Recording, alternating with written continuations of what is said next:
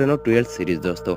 अपोरेनो Reno 12 series की कुछ leak सामने आए जिसमें बताया जा रहा है कि इस बार अपोरेनो रेनो 12 सीरीज़ की कैमरा क्वालिटी और भी इंक्रीज एंड हाई क्वालिटी देखने को मिलेगा पिछले अपोरेनो रेनो 11 सीरीज़ से। और अपोरेनो रेनो 12 के अंदर एक पावरफुल चिपसेट भी शामिल होगी मीडियाटेक का। ओप्पो 12 सीरीज़ में फीचर्स क्या क्या आने वाली है और इसका प्राइस कितना हो सकती है, सब कुछ और डिटेल्स के साथ आपको बताएँगे। वीडियो को पूरा देखना और चैनल को भी सब्सक्राइब कर लेना। तो